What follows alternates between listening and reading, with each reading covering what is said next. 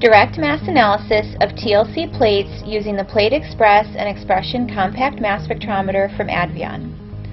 No need to scrape spots. Begin by placing your developed TLC plate into the reader, aligning your spot of interest under the laser. Press the button to start.